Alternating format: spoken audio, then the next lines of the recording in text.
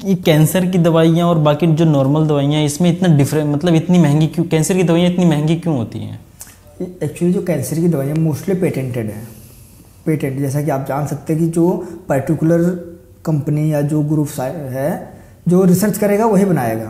हम्म, और जब तक उसका पेटेंट चलता है तो वही मतलब वही मैन्युफैक्चरिंग करता है तो एक सप्लाई और डिमांड का जो डिफरेंस होता है वहाँ से आता है। सप्लाई डिमांड ज़्यादा सप्लाई कम है। और जब एक एक के हाथ कम एक के हाथ में कमांड रहेगी तो अपने हिसाब से वो रखते हैं। ओके ये यानी कि आपके कहने का मतलब आजकल की कंपनियाँ अपने मनमानी तरीके से मतलब जैसे कि आप देखते हैं एमआरपी वगैरह देती हैं। हम्म, इस पे इसके ऊपर जैसे आमिर खान ने एक शो किया था सत्यमेव जयते हम्म। जिसमें उन्होंने एक राजस्थान के कहीं का केस उठाया था कि जो आईएएस ऑफिसर था आपने सुना होगा शायद तो वो डॉक्टर आईएएस ऑफिसर था जो कुछ भी था मुझे अच्छे से याद नहीं आ रहा है उसके सर्वेंट की सर्वेंट था कोई लेडी थी उसका वो बाहर कहीं गया था तो उसके मतलब गैर मौजूदगी में उसका बच्चा बीमार पड़ता है।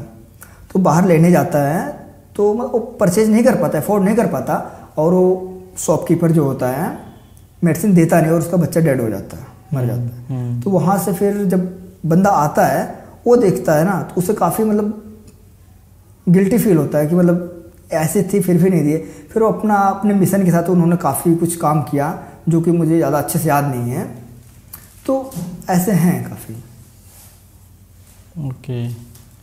तो जैसे कि यानी कि आपके कहने का मतलब है जो कैंसर की दवाइयाँ हैं उस पर ज़्यादा कंपनीज़ वो ज़्यादा कंपनीज़ बना नहीं रही हैं उसको। हाँ अभी उस पर पेटेंटेड चल रहा है। और जो इसका है तो पेटेंट ये कब तक चलता है? क्या ये एक कंपनी के हाथ में? ऑल ओवर जैसे ग्लोबल पेटेंट होते हैं ग्लोबल होते हैं। कुछ ग्लोबल होते हैं कुछ स्टेट स्टेट में जैसे कि हम कह सकते हैं कंट्री वाइज होते हैं। क्या मतलब इस होता है? इसका एक बार मुझे ग्लोबल और स्टेट वाइज जो पेटेंट होता है उसके बारे में बता दो थोड़ा। जैसे कि आपने जो क्वेश्चन पूछा पेटेंट इस country wise patent and global patent तो इसमें आपने कुछ एक मेडिसिन जब परचेज किए होंगे उसके पीछे लिखा देखा होगा आपने आईपी आईपी आईपी कभी नोटिस किया आपने? आई आईपी यूएसपी बीपी देखा है लेकिन पता नहीं क्या चीज़ जैसे कि होता है इंडियन फार्माकोपिया भी? Indian pharmacopoeia Indian pharma pharmacopoeia कोपिया हाँ। क्या मतलब होता है इसका? ये इंडियन जैसे पैरामीटर्स के थ्रू बनाई गई है इंडिया जैसे okay. अभी आप डिटेल में जाओ जैसे मीटर तो मतलब इंडिया की गाइडलाइन के थ्रू ये हाँ। मेडिसिन बनी हुई है। जैसे अभी आप ये जो मैं बोलना चाह रहा हूँ आप मीटर की देखते होंगे स्पेलिंग से होती है M E T E R E होती है। Yes yes. और M E T E R भी होती है। M E T R E हाँ। दोनों होती हैं जबकि दोनों सही है। अब कंफ्यूजन रहे कौन सही है कौन गलत है एक आई एक इंडियन फार्माकोपिया के, के मतलब अकॉर्डिंग है दूसरी यूनाइटेड यूएसपी के थ्रू है।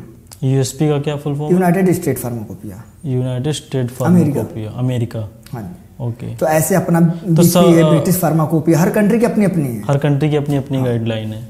ओके ओके ओके हाँ। तो इसी की अगर हर कंट्री जो है पेटेंट को अपने कंट्री में अपने कंट्री में जो है रेगुलेट करती है इसकी फार्मेसी काउंसिल ऑफ़ इंडिया जो होती है तो इंडिया की मैं बात करूँ जब इंडिया में हो गया फार्मेसी काउंसिल ऑफ़ इंडिया तो अपने जो अपने हिसाब से रेगुलेट करेगी तो उसके अपने पैरामीटर्स होते हैं पेटेंट के।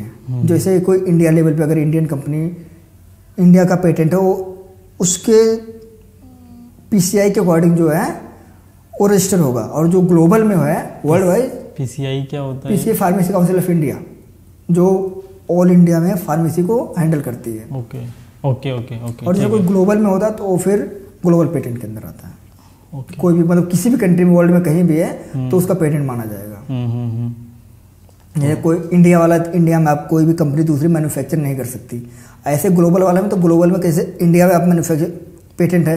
तो ग्लोबल अगर पेटेंट है तो ग्लोबल में कहीं भी बनेगी तो इंडिया क्लेम कर सकता है उस पर कोड कर सकता हाँ मतलब जैसे कि अगर जो इंडिया में बन रही है अगर जो कोई दूसरी अदर कंट्री पाकिस्तान बना रही है चाइना बना रही है तो वो उस पर क्लेम कर सकता क्लेम कर सकता है। क्लेम कर सकता है। आईसीजी में क्लेम कर सकता है। और ये क्लेम कहाँ पे कर सकता है वो? कहाँ पे कोर्ट करे? में। कोर्ट में। उसके ऊपर जैसे कि यूएन में जैसे कि अगर जो ग्लोबली हो रहा है यूएन तो में तो नहीं आता। हाँ। इसका आईसीजी कोर्ट होता है जो भी होता है उसमें कर सकता है।